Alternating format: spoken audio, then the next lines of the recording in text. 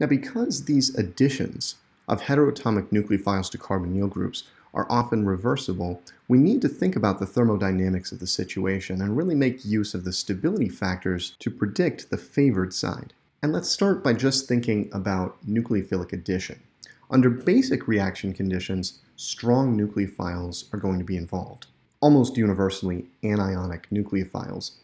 And here, to decide which side of this addition equilibrium is favored, what we really need to think about is the relative stabilities of the anions on each side.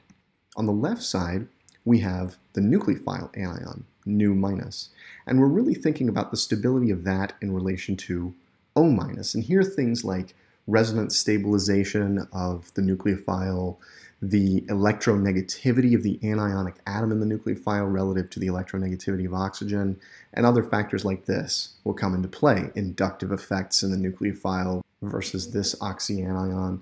All of these five stability factors can play a role in the favored side of this addition equilibrium. Under acidic reaction conditions, the idea is actually similar, except now we're dealing with positively charged species on both sides, the protonated carbonyl compound on the left side, and a tetrahedral intermediate in which the nucleophile is now positively charged on the right-hand side. And so under acidic conditions, the idea again is that we want to focus on the stabilities of the ions, but now we're dealing with cations rather than anions. And so our focus now is on the stability of this positively charged oxygen relative to the stability of the positive charge after the nucleophile has linked to the carbonyl carbon. And just as in the case above, the principles that allow us to make these comparisons of stability are the five stability factors that we've discussed previously. And I have a series of videos on these from Chem 2311 that are worth revisiting if you're unfamiliar with these. Now there we just looked at nucleophilic addition to the carbonyl group and oxygen, the carbonyl oxygen was involved on one side or the other in both of those examples. But we can also apply these principles to nucleophilic acyl substitution as a whole. For example, when we use a strong nucleophile under basic conditions, on one side of the reaction, on the reactant side, we have the anionic nucleophile. On the product side, way over on the product side, we have a new anion, the conjugate base of the leaving group, X minus. And the key to determining the favored side is which of these two is more stable, and we can make that determination typically using one of the five stability factors. If X minus is more stable than nu minus, if X is a good leaving group, relative to nu, in other words, the reaction will go forward spontaneously.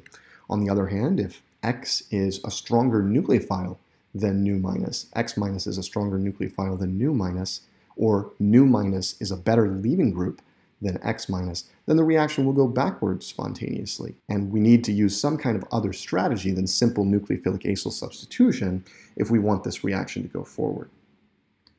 Under acidic reaction conditions, we're often dealing with neutral reactants and products. And so here, maybe it's not as obvious. How do we think about which side is favored? I would actually encourage you to think about the conjugate bases of the nucleophile and X just as if this reaction were occurring under basic conditions. Because what it comes down to ultimately is which of the two potential nucleophiles, H nu on the left-hand side and HX on the right-hand side, is weaker that side will be favored. So let's say, for example, that using the stability factors and thinking about x minus versus nu minus, the conjugate bases of these, we determined that HX was the weaker nucleophile of the two. We could conclude from this that the reaction would proceed forward spontaneously and that the favored side would be the product side. We'll see a number of examples of this as we work through specific reactions involving nucleophilic acyl substitution, so I won't give specific examples here, but these general patterns will recur again and again as we think about which nucleophilic acyl substitution reactions are favored.